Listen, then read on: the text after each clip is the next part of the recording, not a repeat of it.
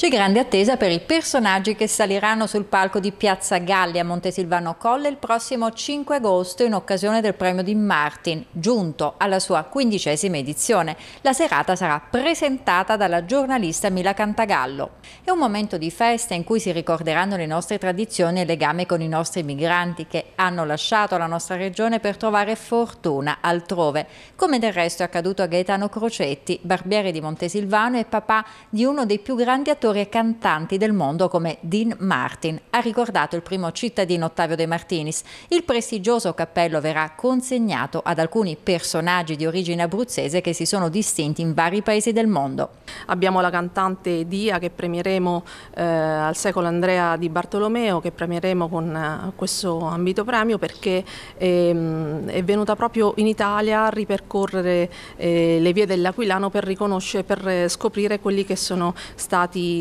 quelle che sono state le origini loro, dei, dei, suoi nonni. E premio a um, Antonella Santuccione che è una scienziata, eh, origini di Cepagatti, vive in Svizzera, a lei si devono numerose ricerche sul tema dell'invecchiamento. Um, altro premio di Martin a Mario Daniele, un imprenditore, eh, anche lui di origine aquilane, eh, viene, arriva appunto dalla Florida per ehm, raccontarci quello che fu il suo viaggio con la valigia di cartone. E poi avremo Vincenzo Di Nicola, un ingegnere, ehm, ha lavorato a, a Silicon Valley eh, alla scoperta anche dell'intelligenza artificiale di questi nuovi temi.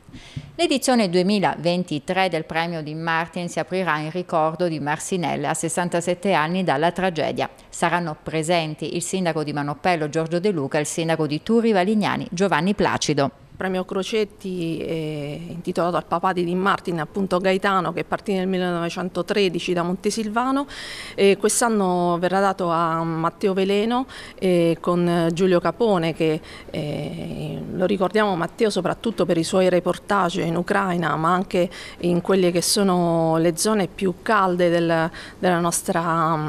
della, nostra, Europa, per i loro reportage davvero eh, unici. Poi altro tema, altro riconoscimento riconoscimento scusatemi, a Gino Berardi che è un pittore di Montesilvano che anche lui ha ripercorso il suo viaggio delle radici eh, scoprendo eh, la casa dei suoi nonni in Francia e quindi anche lui ci racconterà le sue esperienze.